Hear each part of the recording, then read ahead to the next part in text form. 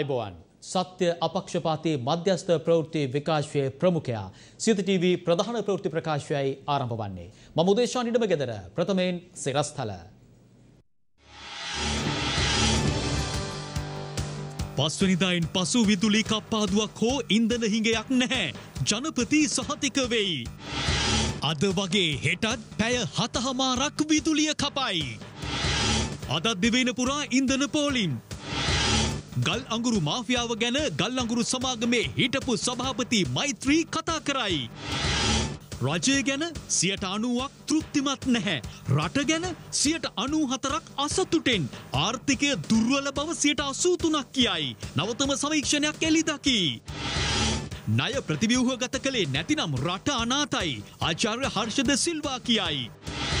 EPF ETF ඇතුළු විශ්‍රාම අරමුදල් දහත්තුනක් අධිභාරයෙන් නිදහස් නීතිපති අධිකරණයට කියයි. ඉන්දන විදුලි බඩුමිල නැමති ගහින් වැටුණු මිනිහට සෞඛ්‍ය වෘතිය සමිති වර්ජන අනී. මුළු රටම හරිමගට ජාතික ප්‍රකාශනය පක්ෂ එකොළහක සහභාගිත්වෙන් එලි දකි. ප්‍රථම නවධානය දේශය පුවත් වෙත. දැනට රට තුළ පවතින ඉන්දන හිගේ සහ විදුලි කප්පාදුව වහා අවසන් කරන්න ජනාධිපති ගෝඨාභය රාජපක්ෂ මහතා උපදෙස් ලබා දී තිබෙනවා. ඒ අනුව ලබන පස්වනදා සිට රට යළි සුපුරුදු මගට ගමන් කරනු ඇතැයි ජොන්ස්ටන් ප්‍රනාන්දු සහ ගාමිණී ලොකුගේ යන අමාත්‍යවරුන් ජනාධිපතිවරයා හමුවෙන් පසුව මාධ්‍ය හමුවේ පැවසුවා. කෙසේ වෙතත් අදත් දිවයින පුරාම දිගු ඉන්දන පෝලිම් දක්නට ලැබුණා. ඉන්දන හිඟේට දැන් මාසයකට අධික කාලයක් ගෙවී ගිහින් තිබෙනවා. හාවා හඳ දකින්නවා වගේ ඉන්දන නැව් ඒ අතර ආවා. ආව සමහර නැව්වලට ගෙවන්න ඩොලර් නැතිව නැව් මුහුදේ නැංගුරම්ලා තිබුණා. අන්තිමට ප්‍රමාද ගාස්තුත් ඩොලර් වලින් ගෙවලා තමයි ඉන්දන ගොඩ බෑවේ. මේ අතර ඉන්දියානු ඔයිල් සමාගම Tamanට කැමති විදිහට ඉන්දන මිල මාසයක් තුල දෙපාරක් ඉහළ දැම්මා. ඉන්දන බාර ඇමතිවරයාගේ සමහර ප්‍රකාශ ඒ නිසා නතර වුණේ කුණු කූඩේ. අන්තිමට ඉන්දන ඇමති එකම බෙරයක් ගහන්න ගත්තා. ආණ්ඩුව ඩොලර් දුන්නොත් මම තෙල් දෙනවා කියලා. ඩොලර් නැතිකම තමයි ගැටලුව කියලයි ඔහු නිතර පැවසුවේ. හැබැයි කවදාවත් තෙල් සංස්ථාව ඇත්තටම පාඩු ලබන්නේ කොහොමද කියලා කිව්වේ නැහැ. තෙල්වලට ගහන බද්දත් අයින් කරලා තෙල් මිලත් ඉහළ දාන්න වෙනවා කියලයි ඇමති උදය ගම්මන්පිල නිතරම පැවසුවේ. නමුත් අද ජනාධිපති ගෝඨාභය රාජපක්ෂ මහතා විශේෂ සාකච්ඡාවක් පවත්වා තිබෙනවා. එහිදී ඔහු ප්‍රකාශ කර ඇත්තේ පස්වනදා සිට විදුලිය කපන්න එපා කියලයි. ඒ වගේමයි ආපසු ඉන්ධන හිඟයක් ඇතිවෙන්න බැහැ කියලත් ජනාධිපතිතුමා ප්‍රකාශ කරලා තියෙනවා. මේ ඒ පිළිබඳව කතා කළ ජොන්ස්ටන් ප්‍රනාන්දු සහ ගාමිණී ලොකුගේ යන අමාත්‍යවරුන්.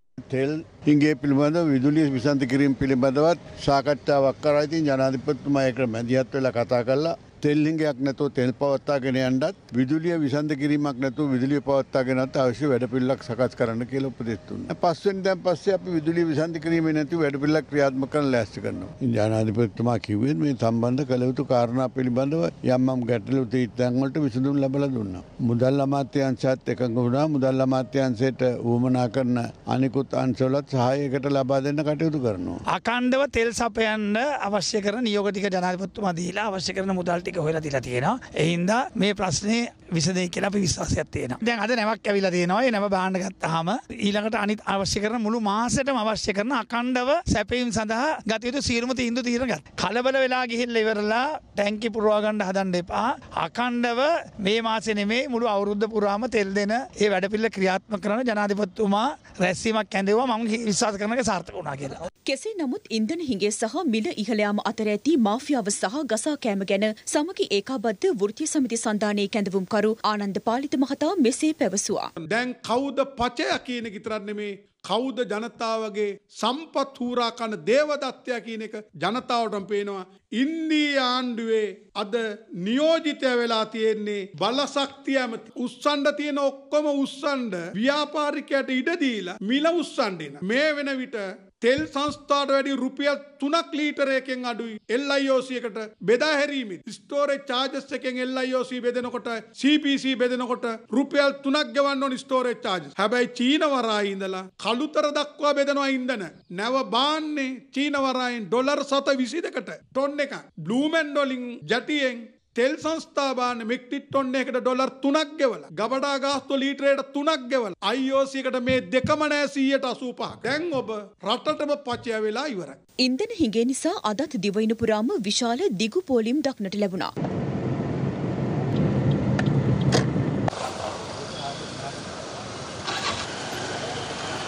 ඩීසල් නැහැදෙන් දවස් 3-4ක් වෙලින් මම එළියට තුනේ ඉඳන් පාමාරංග පොලි විතර තමයි තෙල් ගහගත්තේ. දැන් මේ දවස්වලට එන්න එකවත් ගහ ගන්න හරි අමාරුයි තෙල් වලට ප්‍රශ්න ඇවිල්ලා පැය 4-5ක් විතර පොලි විතර තමයි තෙල් ගහගත්තේ. දවස් දෙකක් වගේ තමයි දුවතෑගේ මේකේ. ඉතින් දුවන්න මාදී ටර්න් දෙකක් විතර දුවලා ගෙදර යන එක තමයි බස් ආඩුවේ තෙල් නැති හින්දා. අයාමාන්ට විතර තෙල් ගහන්න ගියාම කරන්ට් එකක් නැහැ. පාර ජෙනිය ස්ටාර්ට් නැහැ සෙඩ් එකේ. පෑ නම වෙනකම් හිටිය තෙල් ගහන්න. බස්රථ ධාවනයේද සියට අසුවකින් පමණ අද සවස් කාලය වන විට අඩු වී තිබුණා. ඉතින් අපි විශේෂයෙන්ම කියනවා ප්‍රවාහන රාජ්‍ය ඇමතිතුමාට අනේ ඇමතිතුමා ශ්‍රී ලංගමෙන් හරි කමන්නෑ ඔබතුමා කියන විදිහට ඩීසල් ටික දෙන්න නැත්තම් බස් ටික දුවන්න විදිහක් නෑ කියන එක. අද දිනේදී සියට හැත්තෑවක පමණ අඩු ප්‍රතිසතයකින් බස් ධාවනය වෙනවා. අද හැන්දෑ වෙනකොට ඒක සියට අසූ අනුව දක්වා ඉහළ යන බව අපිට අපිට තේරෙනවා. මේ අතර සමස්ත ලංකා පෞද්ගලික බස්රථ හිමියන්ගේ සංගමේ සභාපති ගැමුණු විජේරත්න මහතා පවසන්නේ ලංකමෙන් ඉන්ධන ලබා දෙන බව පැවසුවද මෙතෙක් ඉන්ධන ලබා දීමට කටයුතු කර නැති බවයි. අමාත්‍යංශයේ පාර්ශවයෙන් අපි අද දිනේ බලාපොරොත්තු වුණා ලංගම හරහා ලබා දෙන ඩීසල් ටික අපිට ලබා දෙන්න කටයුතු කරાવી කියලා. අපි අද ඒ අවශ්‍ය නියාමන ආයතන වලට අවස්ථා කිහිපෙදීම කතා කරා. ඒ අවශ්‍ය නිර්ණායකයන් කොහොමද කරන්න කියලා. ඒ වගේ මේ සඳහා ඒ අවශ්‍ය දේවල් කරලා තියෙනවා. අමාත්‍යංශයේ පාර්ශවයෙන් ඩීසල් ලබා දීම ලංගම හරහා අපිට ඒ අවශ්‍ය කටයුතු කරලා තියෙනවා කියලා. නමුත් අපිට දැනගන්න ලැබුණේ අද වන විටත් ඒ සඳහා ඒ අවශ්‍ය ක්‍රියාමාර්ග ගෙන තිබුණේ නැහැ කියලා. අනිවාර්යයෙන්ම සිකුරාදා වෙන විට බස් සේවාව පූර්ණ විදියට අඩාල වෙනවා. ඒ කියන්නේ තව දවස් දෙකකින් මේ තත්ත්වය තිබුණොත් අසම්පූර්ණයෙන්ම අඩාල වෙනවා. දුම්රිය දහවනයේද ඉන්ධන ප්‍රමාණවත් තරම් ඇති බව දුම්රිය සාමාන්‍ය අධිකාරී ධම්මික ජයසුන්දර මහතා පවසනවා. ඉන්ධන නැතිකම නිසා මහපොළවෙන් ගන්න මැණික් වලටත් බාධා සිදු වෙලා. මන්ද ගැඹුරු පතල්වල ජලය ඉහින්න ඩීසල් පොම්ප අවශ්‍ය වන නිසායි. හරි අමාරුයි කරගෙන යන්න දවසක් වැඩ කරොත් දවසක් නතර කරන්න සිද්ධ වෙනවා මේ ඩීසල් නැති නිසා. අපේ පතල් වෘත්තිය කරගෙන යන්න අමාරුයි මේ ඩීසල් නැතුව. පිකටින් තියන්න උද්ඝෝෂණ කරන්න අපි කවදාකවත් යන්නේ නැහැ. අපිට මේ වෘත්තිය කරගෙන යන්න අපිට ඩීසල් ටික පෙට්‍රල් ටික ගන්න පුළුවන් විදිහට රජයට අපිට අනුග්‍රහයක වෙන්න තමයි කියලා අපි කියා කියන්නේ. අපට දැන් ඩොලර් හොයන්න නැති හොඳම ක්‍රමය යලි සංචාරක කර්මාන්තයට පණ දීම. ඉන්ධන නැතිව සංචාරකයොත් එක්ක සමහර බස් රථ මහමග නතර වෙලා. මොනවාද කරන්න ඉතින් කරන්න දෙයක් නැන්නේ සුද්දන්ට කියන්න බෑනේ තෙල් නැහැ කියලා. දැන් එදා වේල කනවා වගේ තමයි දැන් මේක දැන් වෙලා තියෙන්නේ. ඉන්ධන නිසා සංචාරක වාහන ප්‍රවාහනය කිරීම දැඩි අර්බුදයකට ලක් වෙලා තිනවා. ඒ වගේම සංචාරක හෝටල් වලට ජෙනරේටර් වලට තෙල් නැතුව දැඩි අර්බුදයකට ලක් වෙලා ඉන්නවා. දැන් අද තවත් ඩීසල් නැවක් ඇවිත්. එහි ඩීසල් මෙට්‍රික් ටොන් 37000ක් තියෙනවා. ඊට අවශ්‍ය ඩොලර් මිලියන 31ක් අද ගෙවා දමනු ලැබුවා. දැන් ගොඩ පැමේ කටයුතු කඩිනමින් සිදු කරනවා. මේ වන විට ලෝක වෙළඳපොලේ ඉන්ධන මිල ඉහළ යමින් තිබෙනවා. බ්‍රෙන්ට් වර්ගයේ බොරතෙල් බැරලියක මිල අද වාර්තාගත ලෙස ඉහළ ගොස් තිබෙනවා. ඒ අමරිකන් ඩොලර් 110ක් දක්වයි. මෙලෙස මිල ඉහළ යාමක් සිදු ඇත්තේ වසර 7කට පසුව වීම විශේෂත්වයක්. කලක් විදුලිවල මණ්ඩලය මහා අභිමානවත් ආයතනයක් ලෙස රටේ වැජඹුණා. එහෙත් අද විදුලිවල මණ්ඩලය රටටම බරක් වී අවසන්. මේද හුදේ කොවිඩ් වසංගතයට බැර කරන්න පුළුවන් කාරණයක් නෙවෙයි. ජනතාවට විදුලිය දෙනවා වෙනුවට අද විදුලිය කපන හැටි තමයි අඳුරේ ඉන්න පැය ගණන තමයි විදුලිවල මණ්ඩලය අපිට කියන්නේ. මේ විදුලි කප්පාදුව සංචාරක කර්මාන්තයට වගේම අපේ රටේ සෑම කර්මාන්තයකටම දැඩි බලපෑම් එල්ල කරලා අවසන්. ඇත්තටම ඩොලර් හිඟය සහ ඒ නිසා හටගත් ඉන්ධන හිඟේ තමයි බැලූ බැල්මටම පේන්න තියෙන්නේ. එහෙත් ඇත්තටම ඉන් එහා ගිය මාෆියාවක් තිබෙන බව අප නිරන්තරයෙන් ප්‍රකාශ කළා. හෙටත් පැය හතහමාරක් විදුලිය කපනවා.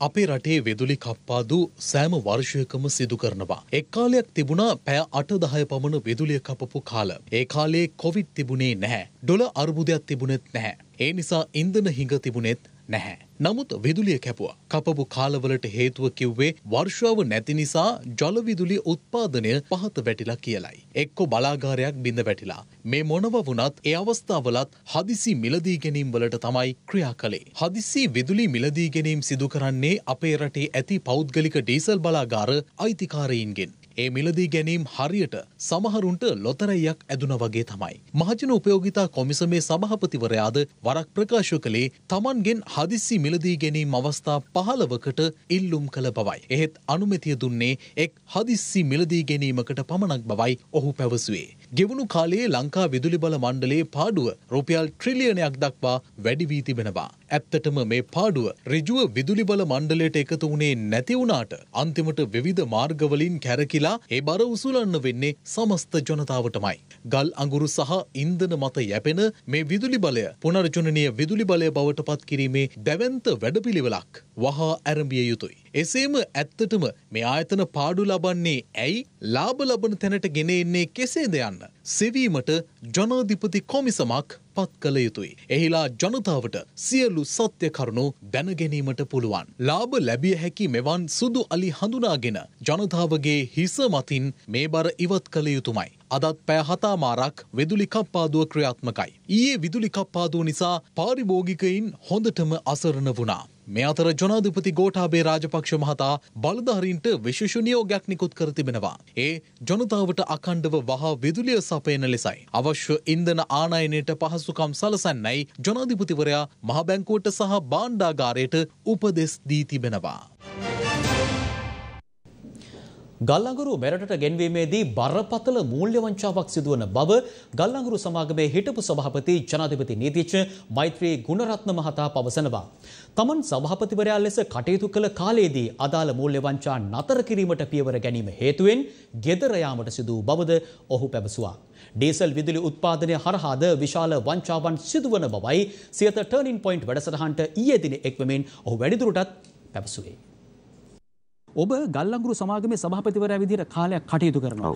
මේ කාලේදී ඔබ එල්ල කරන බරපතල චෝදනාවක් මේකේ වංචා දූෂණ තියෙනවා මට මේව දිහා බලාගෙන ඉන්න බෑ කියන. ඒකද මේ විදුලි අර්බුදයේ ආරම්භයට එක හේතුවක් වෙන්නේ. අපි ගල්ලංගුරු ටොන්න එකක් ගත්තේ ඩොලර් 85කට. මට වගකීමෙන් කියන්න පුළුවන් ඒ වෙනකොට ස්පොට් ටෙන්ඩරින් ක්‍රමය අපි ආරම්භ කළා. ඒ ගත්ත මුදලට වඩා ඩොලර් 15ක් අඩුවෙන් අපිට ගල්ලංගුරු ගන්න පුළුවන්කම තිබුණා. අවුරුද්දකට ගල්ලංගුරු ටොන් ලක්ෂ විසි දෙකක් අවශ්‍යයි 2.2 මිලියන් ටන්ස් නිකමට බලන්න ලක්ෂ විසි දෙකක් වැඩි කරාම ඩොලර් පහලවෙන් රටට ලැබෙන ඉතිරිය.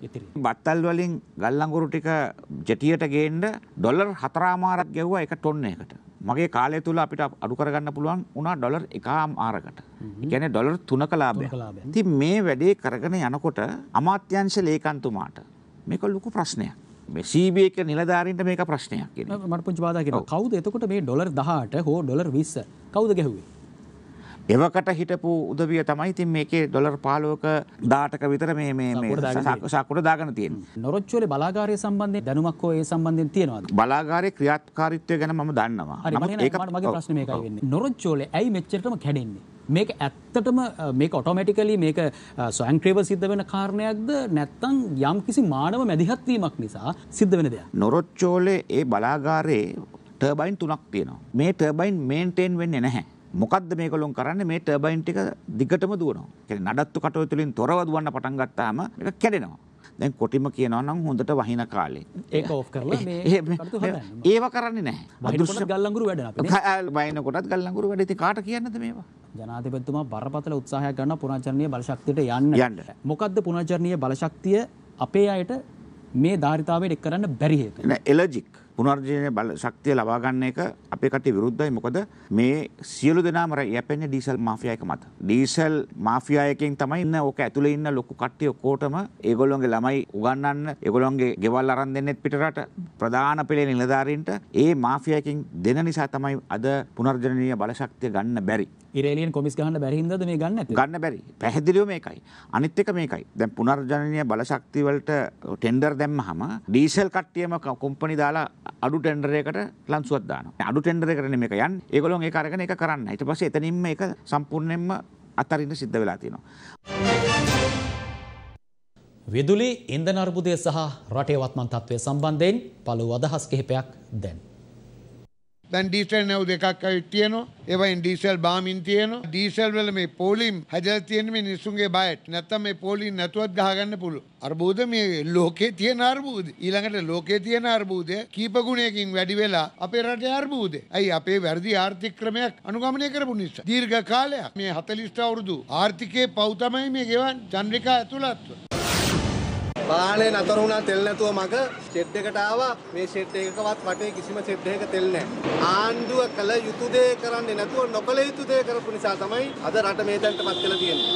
සායිරීත්ත බැඳුම් කරවලට ඩොලර් මිලියන 500ක් ගෙව්වා. හැබැයි ඉන්දියාවෙන් හිඟා ගන්න යන ඩොලර් මිලියන 500ක් තෙල් ගේන්. ඉන්දියාවත් දැන් ඒක දෙන එක මේ වෙනකොට මග අරමින් කල් අරමින් ඉන්නවා. රටේ බල ශක්තිය වෙන රටක් අතර දෙන්නයි මේ යන්නේ. පැය හතාමාරක් දක්වා විදුලි කැප්පාදුවට යන සිද්ධ වෙන්නේ නැහැ. අපි දවසකට පැයක් දෙකක් කපලා ඒ විදිහට ඒ විදිහට කළමනාකරගෙන ආවා නම් විදුලිය කප්පාදුවකින් තොරව පස්වැනිදා ඉඳලා කටයුතු කරන්න පුළුවන් කියන එක ගැනත් උද්දාමයටපත් නොවි හරියටම උද්දාමයටපත් වෙන්න පුළුවන් වෙන්නේ ඩොලර් අඩු සුත්මක් වගේ. ඒකට මේ පාට කණ්ණාඩි දාන්න වැඩ කරලා බෑ. මහජනතාවගේ මුදල් මහජනතාව ජීවත් වීම සඳහා ආයෝජනය නොකළොත් මහජනතාව ඒට එරෙහිව නැගී හිටින දවස වැඩි දුර යන්නේ නැහැ. ඒ නිසා මහජනතාවට යන්න ඩීසල් නැත්තම් පෙට්‍රල් නැත්තම් භූමි තෙල් නැත්තම් ඉටිපන්දමක් නැත්තම් මහජනතාව වැඩ ලක්ෂ්‍ය නැවැත්වීම සඳහා රටේ ක්‍රියා කරයි. අපි ඊළඟ අවුරුදු තුන ඇතුළත අපි යුද්ධය ජයග්‍රහණය කළා වගේ ලෝකයේ රුතුරුම ත්‍රස්තවාදීන් හිටපු යුද්ධය අපි ජයග්‍රහණය කළා නම් ලෝකයේ අදටත් රටවල් ගණනාවක් ලොක්ඩවුන් කරලා තියෙද්දි අදටත් රටවල් ගණනාවක් සම්පූර්ණ හෝ කොටස් වශයෙන් වහලා තියෙද්දි අද අපි කොවිඩ් කියන යුද්ධය ජයග්‍රහණය කිරීමේ එලිපත්තට ඇවිල්ලා තියෙනවා නම් ආර්ථික යුද්ධයත් මේ අවුරුදු තුන ඇතුළත අපි ස්ථිරවම ජය ගන්නවයි කියන එකයි මට තමුන්නාන්සලට කියන්න තියෙන්නේ. සෞඛ්‍ය වෘත්තීය සමිති 17ක් අද සහ හෙට යලි වැඩවර්ජනයක් ක්‍රියාත්මක කර තිබෙනවා. සේ ඉල්ලීම් වලට නිසි විසඳුම් ලැබුණේ නැති නිසා මෙම වර්ජනය යලි ආරම්භ කළ බවයි වෘත්තීය සමිතිය ප්‍රකාශ කළේ. ඉන්දන නැතුව විදුලිය නැතුව මේ වන විට දැඩි පීඩාවකට පත්වේ සිටින අපේ රටේ ජනතාවට අද දවසේ තවත් පීඩාවකට ලක්වෙන්නට සිදුවන්නේ මේ වන විට සෞඛ්‍ය වෘත්තීය සමිති කිහිපයක් ආරම්භ කර තිබෙන වැඩ වර්ජනයත් සමගයි. මොහොතින් මොහොත දවසෙන් දවස ජනතාව පීඩාවට පත්කරන මෙවැනි අවස්ථාවක මහජනතාවගේ බදු මුදලින්ම පෝෂණය වන වැටුප් ගන්න තුන් වේලම පිරිමහගන්න රජයේ සේවකයින් මෙලෙස ජනතාව පීඩාවට පත්කිරීම කොතරම් සාධාරණද යන්න විමසා බැලිය යුතු කරුණක්. සෞඛ්‍ය වෘත්තියවේදින්ගේ සම්මේලනට අයත් හෙද පරිපූරක අතුරු වෛද්‍ය ඇතුළු සෞඛ්‍ය වෘත්තිය සමිතිදා හතක් අද උදෑසන සිට දින දෙකක වැඩ වර්ජනයක් මෙලෙස ආරම්භ කර තිබෙනවා. වැටුප් විෂමතා ඉවත් කිරීම ඇතුළු සිය ඉල්ලීම් වලට විසඳුම් ලබා දීමට රාජ්‍ය මෙතෙක් කටයුතු කර නැති බවට චෝදනා කරමින් මෙම වෘත්තීය ක්‍රියාමාර්ගයට එළඹි බවයි වෘත්තීය සමිති නායකින් ප්‍රකාශ කරන්නේ. මෙලෙස මෙම වෘත්තීය සමිති පසුගිය මස 7 වනදා සිට පුරා දින 9ක කාලයක් අකණ්ඩ වැඩ වර්ජනයක නිරත වුණා. එම වැඩ වර්ජනයත් සමග අසාධ්‍ය තත්ත්වයට පත් වූ ඇතැම් රෝගීන් මිය ගිය බවටද චෝදනා එල්ල වුණා. සාමාන්‍ය අසනීප තත්ත්වවල සිටි රෝගීන් අසාධ්‍ය තත්ත්වයට පත් වූ බවටද චෝදනාවන් ගණනාවක් එල්ල වී තිබුණා.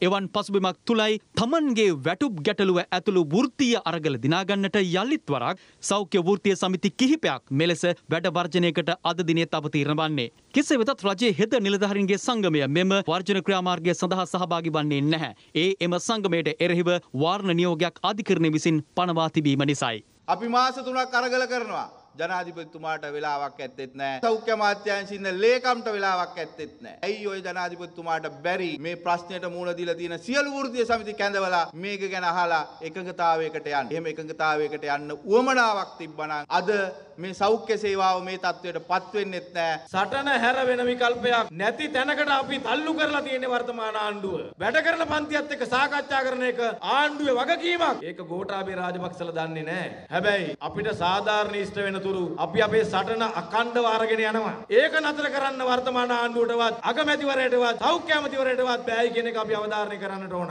මර්ධනයට එරෙහි සටන අපි මේ රටේ විතරක් නෙවෙයි ජිනීවා වලට අරගෙන යන්නත් ලෑස්ති. මේ මර්ධනයට එරෙහිව අපි ජාත්‍යන්තර කම්කරු සංවිධානයට ලබන සතියේ පැමිණිල්ලක් දානවා. ජයග්‍රහණයෙන් මෙපිට මේ සටන අවසන් කරන්න අපි ලෑස්ති නෑ. මේ වාදන රැල්ල අද වෘත්තීය සමිතියත් හැල්ලු ලක්වන තැන අද පත් වෙලා තිබෙනවා. කවදාකවත් සෞඛ්‍ය මෙච්චර පිරුහුන්නේ නැහැ නේ කවදාකවත්. ලේකන්තමා හොඳ වෛද්‍යවරයෙක් වෙන්න පුළුවන්කම තිබෙනවා. මුත් පරිපාලන පැත්තෙන් බොහෝ දුර්වලයි. මේවා තමයි හේතු වෙලා තව ආවද තියෙනවා. නිචි සුදුසා සුදුසුසන නැතිකමත් අර්බුද වලට මූලික හේතුවක් වෙලා තිබෙන එකයි මගේ මතය. මේක හරියට නිකන් යුක්‍රේනයේ යුද්ධයක් වැද්දේ යුක්‍රේන ජනතාව වැටුප් විෂමතා විසඳව් කියලා වඩවර්ජනය කරනවා වගේ තත්ත්වයක්. රටේ යුද්ධයක් ඇත්තටම පවතිනවා ආර්ථිකය සමග. හැම විටම අපි දකිනවා ජිනීවා වල මානව හිමිකම් සැසිවාරය පැවැත්තෙද්දී මෙහි මොකක් හෝ වැඩවර්ජනයක් හෝ කලබැගෑනියක් ලංකාවේ ඇති කරන තත්ත්වයක්. ආණ්ඩුව දැනන් හිටිය මේ වැඩවර්ජනය මේකට සූදානමක් නොවී සිටීම ගැන අපි කනගාටුවට පත්වෙන. වෘත්තීය අරගල කරන ස්ට්‍රයික් කරන වෙලාවක් නෙමේ අපි බොහොම අමාරු තත්ත්වයකන රට තියෙන්නේ ඉඩට පත්වෙච්ච රටක් ඉති නිසා තවදුරටත් සෞඛ්‍ය ක්ෂේත්‍රය රෝගීන් තවදුරටත් තව පීඩා කරනවන එක මහිතන මේ වෙලාවේ සාධාරණය නිසා මම ඔවුන්ගේ කාරුණිකව ඉල්ලනවා පොඩ්ඩක් රටේ ජනතාව ගැන හිතලා සාකච්ඡා මට්ටමින් තමුන්ගේ ගැටලු ටික විසඳ ගන්න. කොහොමුණත් මේ වෘතිය අරගල එක්ක හැමදාම පීඩාවට පත්වන්නේ අසරණ අහිංසක ජනතාව. වේදනගන්න ලියාගන්න කෙනෙක් කිසි කෙනෙක් නෑ. පරස්තය කියන්න කෙනෙක් නෑ. මේ කැරික් කැරික් ඉන්නවා. හේට යනවා මේට යනවා කවුරුත් නෑ. මේව කරලා වැඩක් නෑ. අපි ඡන්ද දුන්නේ මේවල මෙහෙමද මේ මුන්ට හැමදේම ඉල්ල ඉල්ල ස්ට්‍රයික් කරනවනේ මුන් අහිංසක මිනිස්සු දුක් විඳිනවා රස්තියාදු වෙලා බේත් දෙන්නේ නෑ මට හරි. ස්ට්‍රයික් කියලා බේත් දෙන්නේ නෑ ආයෙ සති දෙකකට කල්ලා කල් මාමසියෙන් ගන්න කියලා කියලා දෙනවා. මොනවා කරන්න කිදිනේ? අපි ඇවිල්ලා රස්තියාදු වෙලා යන එක තමයි කියන්නේ තාප්පයක් ස්ට්‍රයික් ඒක දැන් ගෙදර යනවා ඉතින් ඉන්න බෑනේ කකුල අමාරුනේ මනා කරන්න රහත් ඉතින් දුක තමයි සංසාරේ භවයේ දුක මේ වගේ දුක් නම් ඉතින් ආය කාටවත්ම වෙන්න එපා අප්පා අද ස්ට්‍රයික් වල බේත් ගන්න බැරි බේත් ගන්න සල්ලි නෑ අපි අන්නේ ඉතින් දැන් මේ එන්නේ බේත් ගන්න මේ චෙක් කරන්නත් නෑ ඔය ස්ට්‍රයික් එක ඉවරනවා නේද මම ඒක කිව්වට ඒගොල්ලෝ ලෙඩු මැරිලි ඉවරයි කියලා ස්ට්‍රයික් එක ඒගොල්ලන්ට කරන්න බැරි නම් අතහැරලා යන්න ඕනේ. නිසා අපේ නේ දුක් වෙන්නේ හැමදාම ස්ට්‍රයික් නෙමෙයි ලෙඩු මරනවා එච්චරයි වෙන වෙන දෙයක් නෑ. සේවකයොත් එමේ රජයත් එකයි රජයකම් දෙන්න සේවකයන්ට සේවකම් දෙන්න. රජයට ජනතාව හැමදාම අමාරුයි. මොනවා කරන්නද කොහේ හරි කියලා සල්ලිත් දීලා ගන්න ඕනේ. අපට රස්සාවලුත් නෑ. රට පැනලා මට කොහේ රස්සාවද? ඉතින් කායෙන් හරි ඉල්ලගෙනත් බෙහෙත් ගන්න ඕනේ. මිනිස්සු මරා මරනවා. රෝහල් වලින් බෙහෙත් ගන්න නැති නිසා ඔසුසැල් වලින් බෙහෙත් ගන්න රෝගීන්ට අද දවසේ සිදු වුණා. මේ නිසා බැරි මරගාතේ වුණත් මේ අහිංසක ජනතාව අර ඉන්දන පෝලිම්වල ගෑස් පෝලිම්වල ඉන්නව වගේ බෙහෙත් ගන්නත් අද දවසේ මේ විදිහට පෝලිං ගැහුණා. කකුල අමාරුවක් තියෙනවා මොනවද කරන්නේ මේක බෙහෙත් ගන්න අපි පොලිමේ ඉන්න ගන්නවා බෙහෙත් ගන්න ඇවිල්ලා තියෙන ඉතින් බෙහෙත් නෑ අපි පොලිමේ ඉන්නවා බිල් එක ගහලා ඒගොල්ලෝ කියන එහෙන් දැනුම් දුන්නේ නෑ බේත් දෙන්නේ නෑ නෝ දේවල් කිය කිය අර රස්තියක් කරනවා මට දෙන්නේ අපිට මේ එදා වේලා හම්බ කරන අද රස්සාවක් නෑ. පඩියක් අපි කොහොමද ජීවත් වෙන්නේ? බඩුව ගන්න බෙහෙත් ටික ගන්න අනිවාර්ය ගාලාද? බෙහෙතුත් නෑ. ඒ සල්ලි දීලා ගන්න අපිට වත්කමක් නැති ඉඳන් අපි මෙතෙන් දෙන්නේ ආන්ගුත් පිළිගන්න බැයිද? අපි මේ අසරණ වෙලා ඉන්න මේ දෙට්ටුට බෙහෙත් ටිකවත් දෙන්න කියලා. අපේ රටේ ජනතාවගේ සිතුම් පැතුම් පිළිබඳව ජාත්‍යන්තර ප්‍රමිතිය සමීක්ෂණයක් සිදු කර තිබෙනවා. ඊට මුල් වී ඇත්තේ වෙල්ටේ රිසර්ච් ආයතනයයි. සමීක්ෂණයට අනුව වත්මන් රජයේ ක්‍රියාපටිපාටිය අනුමත කර ඇත්තේ අපේ රටේ ජනගහනයෙන් සියට දහයක් පමණයි. එමෙන්ම රට ගැන තෘප්තිමත් බව පවසා ඇත්තේ සියට හයක් පමණයි. ගැල්ප් යනු ජනමත විමසුම් පිළිබඳ සමීක්ෂණ කරන කීර්තිමත් ජාත්‍යන්තර සංවිධානයක්. මෙම සංවිධානය විශේෂයෙන් ඇමරිකා එක්සත් ජනපදය ආශ්‍රිතව මුඩ් of the නේෂන් යනුවෙන් සමීක්ෂණ සිදු කරනවා. මෙම ක්‍රමවේදයම අනුගමනය කරමින් අපේ රටේ ජනතාවගේ සිතුම් පැතුම් ආශ්‍රිත සමීක්ෂණයක් සිදු කර තිබෙනවා. ඊට මුල් වී ඇත්තේ වෙරිටේ රිසර්ච් ආයතනයයි. මෙම වසරේ ජනවාරි මස තුළදී මෙම සමීක්ෂණය සිදු කර තිබෙනවා. ඊට වැඩිහිටි පුද්ගලින් එක්දස් විසි එක් දෙනෙකු සහභාගී කරගත් බවයි වෙරටේ රිසර්ච් ආයතනය පවසන්නේ. ඒ අනුව සමික්ෂණ වාර්තාව අද එලි දැක්වුණා. ඔබ වත්මන් රජයේ වැඩ කරන ආකාරය අනුමත කරනවාද යන ප්‍රශ්නය සමීක්ෂණයට සහභාගි වූවන්ට ඉදිරිපත් කර තිබෙනවා. එහිදී අනුමත කරනවා යනුවෙන් පිළිතුරුදී ඇත්තේ සියයට දහයක් පමණයි. සියට අනුවක්ම වත්මන් රජය ක්‍රියා කරන ආකාරය ප්‍රතික්ෂේප කර තිබෙනවා. ඔබ රට ගැන තෘප්තිමක්ද යනුවෙන් සමික්ෂණයේදී අසා තිබෙනවා. එහිදී රට ගැන තෘප්තිමත් යනුවෙන් පවසා ඇත්තේ සියට හයක් පමණයි. සියට අනු හතරක්ම පවසා ඇත්තේ රට ගැන තෘප්තිමත් නැහැ යනුවෙනුයි. වත්මන් ආර්ථික තත්ත්වයට ලැබිය ඇති සමීක්ෂණගේද ඉතා වැදගත්. සමික්ෂණයට එක්වුවන්ගෙන් වත්මන් ශ්‍රී ලාංකීය ආර්ථිකය නරක අතට සහ දුර්වලද යන්න විමසා තිබෙනවා. රටේ ආර්ථික තත්ත්වය ඉතා දුර්වල බව සියට අස්සූත්තුනක්ම පවසා තිබෙනවා. අද වන විට ඩොලර් හොරකමක් සිදුවනවාද යන්න පිළිබඳව බර පත්තල සැකයක් මතුව ඇතැයි පාර්ලිමේන්තු මන්ත්‍රී ආචාර්ය හර්ෂද සිල්වා මහතා පවසනවා. ණය ප්‍රතිව්‍යුහගත කළේ නැතිනම් අප සියලු දෙනාටම කනගාටුදායක ඉරණමකට මුහුණ දීමට සිදුවන බවයි ඔහු පෙන්වා දෙන්නේ. මේ මේ තියෙන්නේ මේ මේ නිවාඩ් කබ්‍රාල්. නිවාඩ් කබ්‍රාල් කියනවා පෙබරවාරි 9 වෙනිදා අපිට ඩොලර් හිඟයක් නැහැ. දැන් මේ තියෙන්නේ අද පත්තරේ. අද පත්තරේ කියනවා මහ බැංකුවට ඩොලර් මවන්න බැරිලු. ඉතින් මේ මිනිස්සයා මොකද්ද මේ කියන්නේ? අපි දිගින් දිගටම කිව්වා. ඔය යන ගමන වැරදි. ජාත්‍යන්තර මූල අරමුදලට ගිහිල්ලා සාකච්ඡා කරලා විසඳුමක් හොයාගන්න මේ ඩොලර් ප්‍රශ්නෙට. ඊට පස්සේ අපි කිව්වා ඔය ණය ප්‍රතිව්‍යුහගත කරගන්න. මේ වෙලාවේ ඩීසල් ගන්න, මේ වෙලාවේ පෙට්‍රෝල් ගන්න, මේ වෙලාවේ බෙහෙත් ටික ගන්න මේ ණය ප්‍රතිව්‍යුහගත කරගත යුතු නැද්ද කියලා අපි දිගින් දිගටම ඇහුවා. ණය පැහැර හරින එකක් ගැන නෙමෙයි මේ කතා කරන්නේ. ණය කල් දමා ගැනීම. දැන් ජූලි මාසේ තව ඩොලර් බිලියනයක් ගෙවන්න තියෙනවා. තව ඩොලර් බිලියනයක් ගෙවුවොත් එහෙම මොකද වෙන්නේ? ආය අපි අලුතෙන් කියන්න ඕනද මේ රටේ මිනිස්සුන්ට? මේ ව්‍යසනය ඇස්සේ මහා ලොකු හොරකමක් සිද්ධ වෙනවද? අපි ඇහුවා, අපි කිව්වා ජනවාරි 18 වෙනිදා ස්වෛරීත්ව බැඳුම් කරේ ගෙවපු කට්ටියගෙන් ලයිස්තුව දෙන්න කියලා. දුන්නද? මේ ආණ්ඩුව හැම ව්‍යසනයෙන්ම හොරකම් කරලා තියනවාද කියන ප්‍රශ්නේ දැන් එළියට එනවා. මේකෙන් එළියට එන්න අපි මෙච්චර වෙලා කතා කළේ මේ වැරදි ප්‍රතිපත්තිය ප්‍රතිපත්ති අනුගමනය කරනවා කියලානේ කතා කළේ. අනේ දැන් නම් පේන විදියට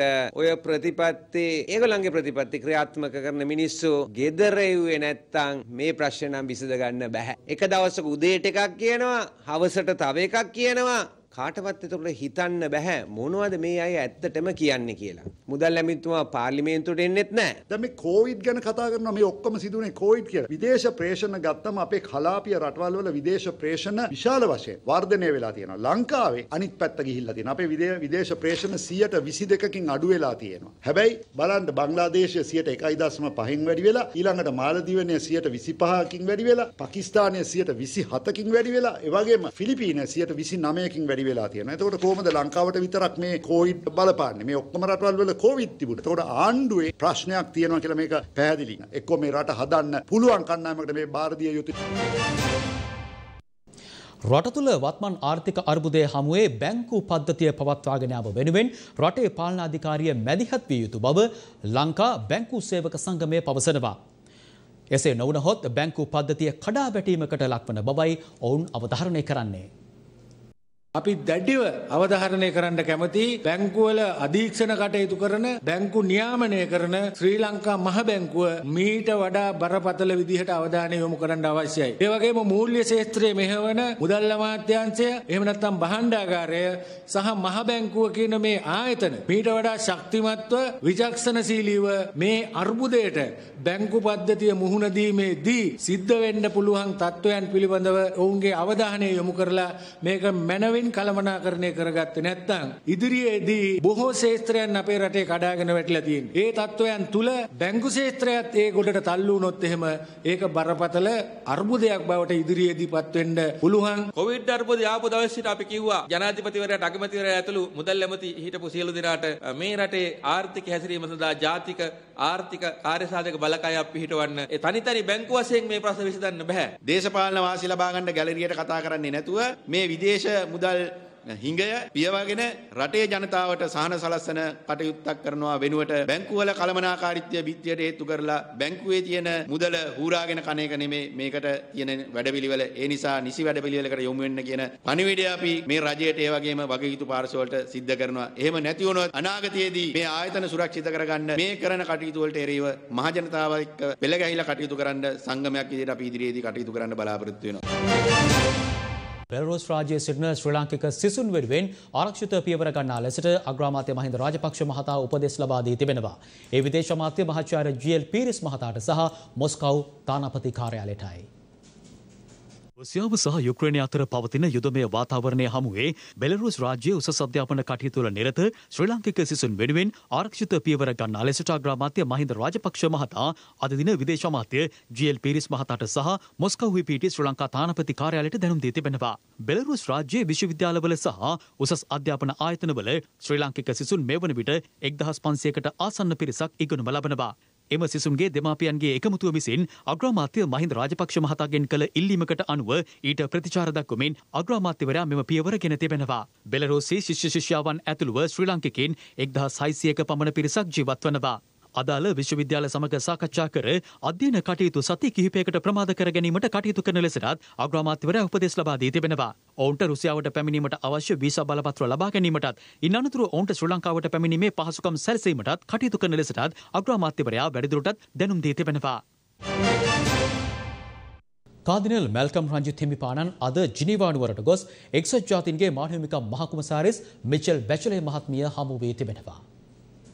කොළඹ අගරදගුරු අතිවතුම් කාදිනල් මැල්කම් රංජිත් හිමිපාණන් ජිනිවහිදී එක්සත් චෝතීන්ගේ මානව හිමිකම් මහ කොමසාරේස් මිෂෙල් බැශුලේ මහත්මිය හමු වී තිබෙනවා. එහිදී පාස්කුවිරිදා ප්‍රහාරයේ සත්‍ය හෙළිදරව් කර ගැනීම සහ වින්දිතීන්ට යුක්ති ඉටු කර ගැනීම පිළිබඳව දෙපාර්ශවය සාකච්ඡා කළ බවයි කොළඹ අගරදගුරු පදවිය නිවේදනයක් නිකුත් කරමින් පවසන්නේ. ශ්‍රී ලංකා වේලාවෙන් සවස දෙකයි තිහට පමණ මෙම හමුව සිදුවී ඇති අතර විනාඩි හතලිස් පහක පමණ කාලයක් කාදිනල් හිමිපාණන් මිෂෙල් බැශලේ මහත්මිය සම සමග සාකච්ඡා කර බවයි කොළඹාගරද ගුරු පදවිය වැඩිදුරටත් පවසන්නේ. කාදිනල් හිමිපාණන් මෙම හමුවට ප්‍රථම පාප් වහන්සේවද හමු වී තිබෙනවා. එහිදී පාප් වහන්සේ සමගද පාස්කු ප්‍රහාරය සහ වින්දිතීන්ට සාධාරණය ඉටු කිරීම සම්බන්ධයෙන් දීර්ඝ ලෙස සාකච්ඡා කර තිබෙනවා. පාප් වහන්සේගේ හමුවෙන් අනතුරුවයි මිෂල් බැෂලේ මහත්මිය හමුවීම සඳහා ජිනිවනුවර වෙත කොළඹාගරද ගුරු කාදිනල් මැල්කම් රංජිත් හිමිපාණන් ගොස් ඇත්තේ. මම හිතන්නේ අපි දැන් ටික කාලෙක ඉඳලා ඔබ සියලු දෙනාටම දැන්නූ පරිදි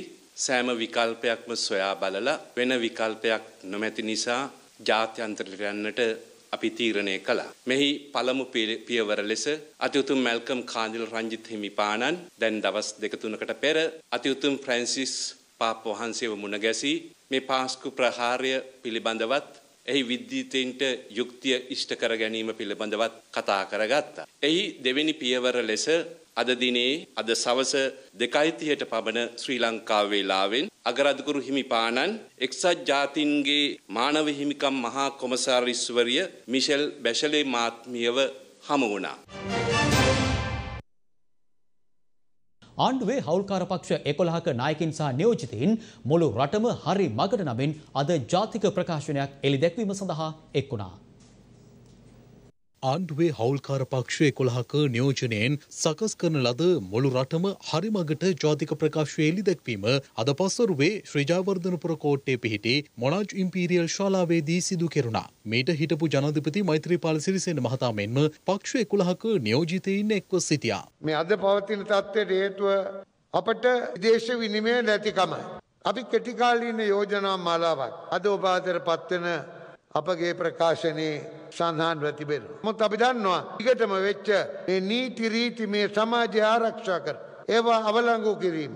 අපේ ජනතාවට රටට අයිති සම්පත් පුද්ගලයන්ගේ ධනවත් භාවය වැඩිකිරීමට හැරවීම. සමාගම්වල දේපල බවට පත්කිරීම. අපේ රුපියලේ වටනාකම පාවෙන්නට ඉඩහැරීම. කෙලවරක් නැති ආනයනයන්ට ඉඩ ලබාදීමට අපට තිබුණු නියෝග. දැන් මෙන්න මේ තත්ත්වයන් ගැන අපට දිගු කාලීන මධ්‍ය කාලීන අපට ප්‍රෝග්‍රෑම් එකක් වුවමනා වේ.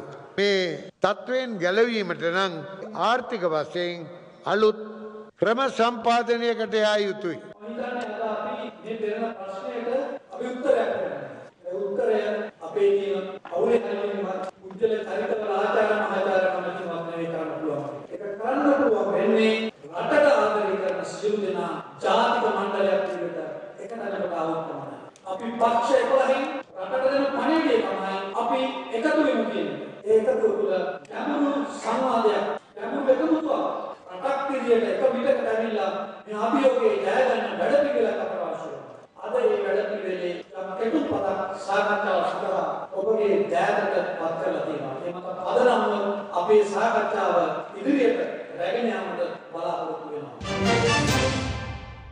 සාකච්ඡාව ඉදිරියට රැගෙන යාමට බලාපොරොත්තු වෙනවා. ATF සහ AVF ඇතුළු විශ්‍රාම අරමුදල් 13ක් අධිභාර බද්දට අයත් වන්නේ නැති බව නීතිපතිවරයා අද ශ්‍රේෂ්ඨාධිකරණයට දැනුම් දුන්නා. රජය විසින් පාර්ලිමේන්තුවට ඉදිරිපත් කර තිබෙන අධිභාර බදු පනත් කෙටුම්පත අභියෝගයට ලක් කරමින් ගොනු කර තිබෙන පෙත්සම් අද සලකා බැලීම සිදු වුණා. ඒ බෝනික අලුවිහාරේ AHMD නවස් සහ අර්ජුන ඔබේසේකර යන මහත්තුරුන්ගෙන් සමන්විත ත්‍රිපුද්ගල ශ්‍රේෂ්ඨාධිකරණ විනිසුරු මඩුල්ලක් ඉදිරියේදී එහිදී නීතිපතිවරයා වෙනුවෙන් පෙනී සිටි නියෝජ්‍ය සොලිසිටර් ජෙනරාල් විවේකා සිරිවර්ධන මහත්මිය අධිකරණය හමුවේ කරුණු දක්වමින් යෝජිත පනත් කෙටුම්පතට සිදු කිරීමට යෝජිත සංශෝධන අඩංගු මුදල් අමාත්‍යාංශ ලේකම්වරයා විසින් නීතිපතිවරයා වෙත එවා තිබූ ලිපියක් අධිකරණයට ඉදිරිපත් කළා. එම ලිපිය මගින් අදාළ පනත් කෙටුම්පතට පාර්ලිමේන්තු කාරක සභා අවස්ථාවේදී සිදු කිරීමට යෝජිත සංශෝධන කිහිපයක් අන්තර්ගතව තිබෙන බවයි නියෝජ්‍ය සොලිසිටර් ජෙනරාල්වරිය සඳහන් කළේ. නියෝජ්‍ය සොලිසිටර් ජෙනරාල්වරිය වැඩිදුරටත් දන්වා සිටියේ අදාළ සංශෝධන තුළින් යෝජිත බද්දෙන් සේවකර්ත්සාධක අරමුදල සේවා නියුක්තකින්ගේ බහර අරමුදල ඇතුළු විශ්‍රාම අරමුදල් දහ තුනක් නිදහස් කිරීමට පියවරගෙන ඇති බවයි. වාර්ෂිකව රුපියල් මිලියන දෙදහසකට වැඩි ආදායමක් උපයන සමාගම් වලින් සියට විසි පහක අධිභාර බද්දක් අය කිරීමට රජය විසින් පාර්ලිමේන්තුර ඉදිරිපත් කර තිබෙන පනත් කෙටුම්පත් අභියෝගයට ලක් කරමින් සමගි ජන බලවේගය ඇතුළු පාර්ශව දහයක් මේ වන විට ශ්‍රේෂ්ඨාධිකරණයට පෙත්සම් ඉදිරිපත් කර තිබෙනවා. 봐.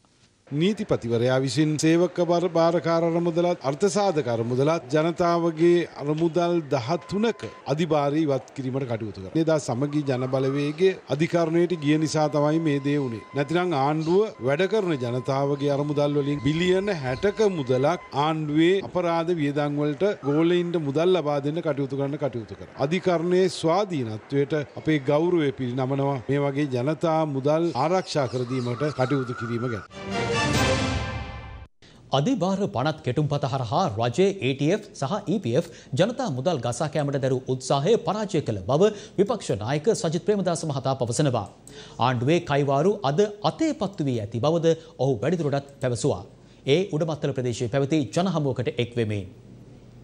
ආණ්ඩුව ගහපු කයිවාරු සියල්ලක්ම අද බොරුවක් බවට පත්වෙලා තිබෙන. මිනිස්සුන්ට එදිනෙදා වේතුන පිරිමහ ගන්නට බෑ. මහලොකෝට කිව්වෙනම් සෞභාග්‍යයේ දැක්ම ක්‍රියාත්මක කරනවයි කියලා. මං අහන්න කැමති දරුවන්ට කෑම දෙන්න බැරුව තාත්තල සියදි විනසා ගන්නකොට ඒකද සෞභාග්‍ය දැක්ම දැන් රටේ ඩොලර් හිඟයක් තියෙනවා. ඩොලර් හිඟේ නිසා රටට තෙල් ටික ගන්න බෑ. ආහාර පාන ගෙන්න ගන්න බෑ. ඒ විතරක් නෙවෙයි බරපතල ඖෂධ හිඟයකුත් තියෙන. පැනඩෝල් පැරසිටමෝල් හොයා ගන්නත් නැහැ. රටේ වර්තමාන අරාජිකත්වය. මේ මහා කඩා වැටීමට ප්‍රධානතම හේතුව මොකක්? අකාර්යක්ෂම දුර්වල නොහැකියාවෙන් පෙළෙන දැක්මක් නැති දර්ශනයක් නැති රාජ්‍යපාලනය. වැඩ කරන ජනතාවගේ සල්ලිවලට තට්ටු කරන්නට අධිභාර බද්දක් පනවන්නට මේ ආණ්ඩුව කටයුතු කරලා. ඒ සල්ලිවලින් මේ ගම්වල තමන්ගේ ප්‍රාදේශ සභා මන්ත්‍රීවරු ලව්වලා කොමිස් ව්‍යාපෘති ක්‍රියාත්මක කරලා වැඩ කරන ජනතාවගේ සල්ලි ගසා කන්නට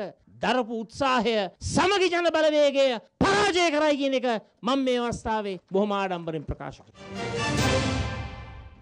පූර්ණ එන්නත් කරන්නේ නැති පුද්ගලයින්ට පොදු ස්ථානවලට ඇතුළුවීම තහනම් කරමින් ගැසට් නිවේදනයක් පසුගියදා නිකුත් කරනු ලැබුවා.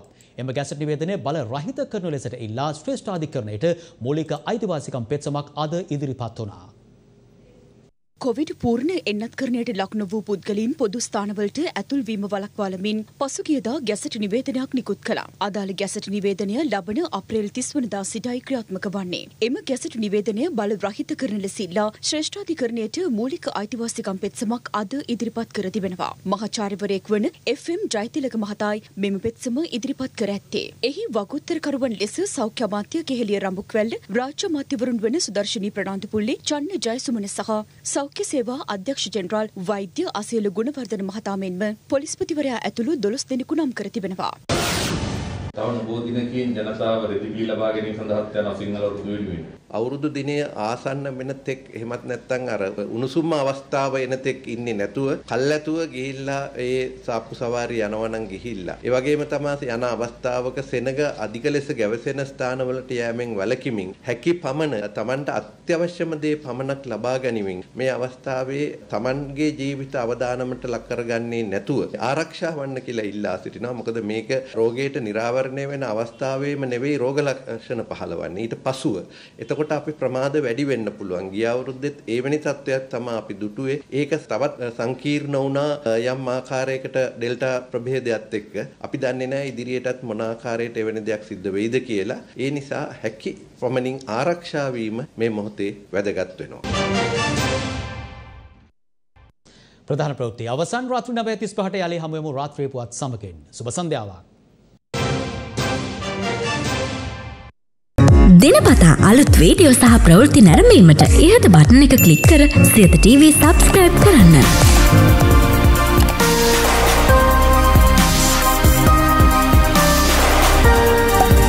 අලුත් වීඩියෝ ගැන මුලින්ම දැනගන්න මෙම සීනුව ක්ලික් කරන්න.